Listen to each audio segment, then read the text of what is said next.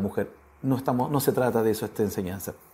Entonces, eh, este hombre toma a esa mujer, convive con ella el resto de su vida, para Dios usó su oportunidad, la usó bien y hay bendición por el solo hecho de haber hecho las cosas bien. Bendiciones naturales naturales es como eh, no comer algo malo, el cuerpo no está diseñado para comer veneno, entonces está diseñado para que si nos alimentamos con los alimentos orgánicos o alimentos eh, que sabemos que no son nocivos para nuestro cuerpo, nuestro cuerpo va a funcionar perfecto. En Dios es lo mismo, usamos nuestro matrimonio o la capacidad de casarnos y de tener una relación con una persona y de tener una relación íntima, de tener una relación sentimental estable y de formar una familia, si lo usamos bien, nos va a ir perfectamente bien. Como si nos alimentamos bien, nos va a ir bien. Entonces alguien dice, bueno, yo cuando era joven en este mundo está totalmente todo desvirtuado, obviamente. Los animales en un principio no comían eh, carne, ahora comen carne.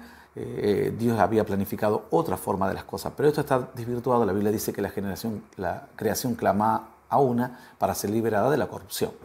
Voy a tratar de hacer el video más corto quiero que tengan un poquito de paciencia. Eh, realmente quiero que comprendan perfecto porque hay muchas preguntas y quiero responderles a todos. Eh, y voy a tratar de seguir con los casos prácticos en este primer matrimonio que es en Dios. Eh, el matrimonio, el primer matrimonio, el primer casamiento, el de Dios.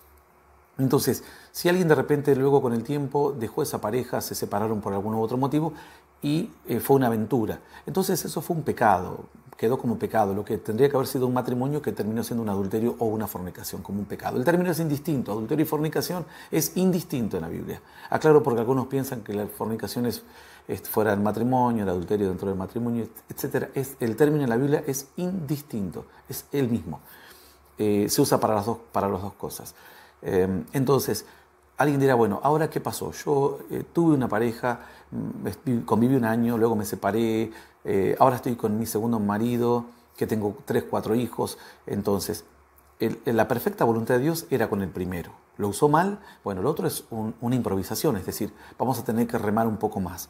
Eh, ahora, ¿qué podemos decir de esa persona? Que no, que vuelva como usó su primera eh, bendición y, según lo planeado por Dios, que vuelva atrás, deje a su marido con tres hijos, y vuelva con el otro hombre que a su vez tiene una mujer con dos o tres hijos más. Eso es, realmente es imposible. Dios siempre dio concesiones, como dio la carta de divorcio a través de Moisés, a causa de la dureza del corazón, pero fue permitido por Dios el divorcio.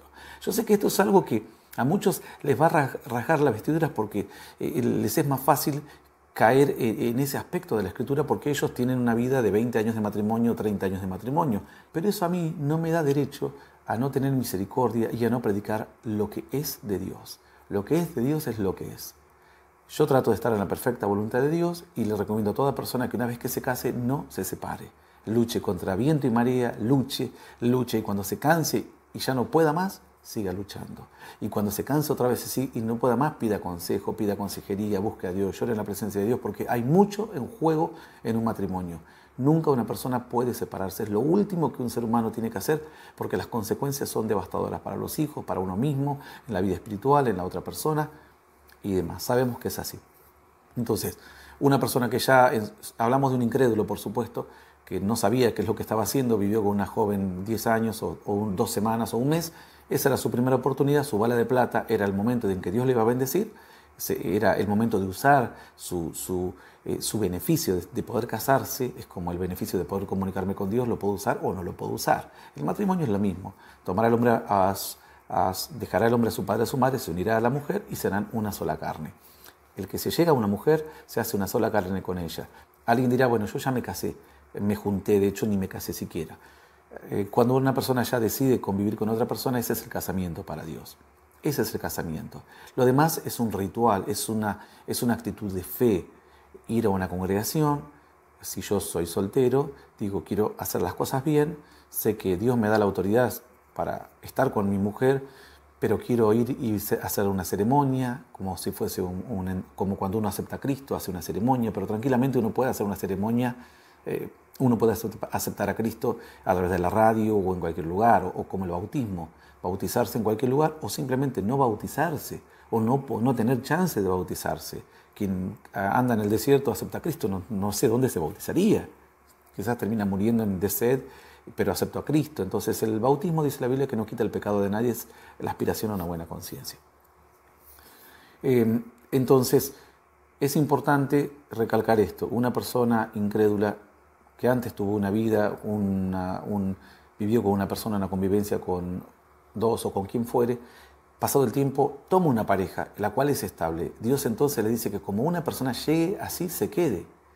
Porque no podemos enmendar y desandar todo lo que pasó. Porque la primera la primer persona con la que supuestamente uno convivió, hablamos de este caso hipotético, eh, habrá sido cuando 20 años atrás. Luego tuvo una segunda mujer con la que estuvo un tiempo, tuvo un hijo y se separó y ahora está con la tercera, pongamos, y tiene cuatro hijos, con ella convivió 15 años. Y con la otra estuvo 3 años y con la primera estuvo 8 meses. La perfecta voluntad era quedarse con la primera, según los términos de Dios. Ahora, llegó a Cristo en esas condiciones. ¿Qué tiene que hacer ahora? ¿Hacer un casamiento con una boda de blanco, con tres hijos en el altar acompañándolo y con el hijo de la segundo matrimonio esperándolo llevándole los anillos? Eso es algo ridículo. Realmente es algo ridículo, porque la, iglesia no tiene el tiempo para dedicarse a este tipo de ceremonias que no, no forman parte de la esencia de la fe, porque esa persona ya hizo su vida así, ya llegó.